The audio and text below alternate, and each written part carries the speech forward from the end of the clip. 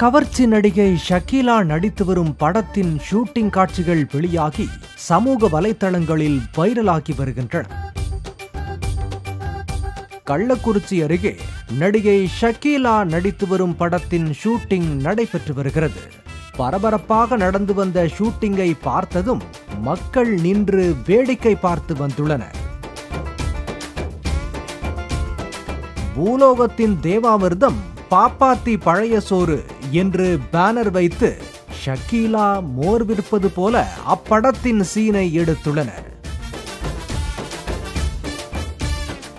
ஷக்கீலா என்றதும் ரோட்டை விட்டு நகராமல் அஸ்திவாரம் போட்டது போல அங்கேயே நின்று படத்தின் ஷூட்டிங்கை மக்கள் பார்த்துள்ளனர்.